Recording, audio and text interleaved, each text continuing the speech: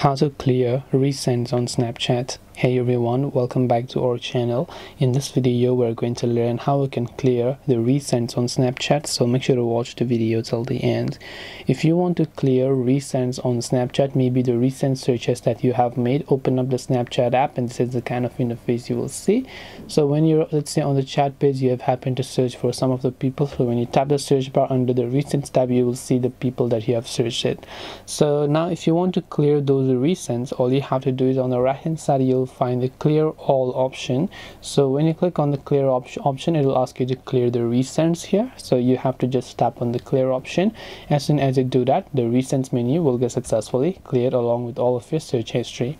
and this way you will be able to clear recents on snapchat I hope that this video helped you. If you have got any more questions, queries, or doubts, feel free to also leave them down in the comment section below. Thank you for watching till the very end of this tutorial and see you soon in the next video.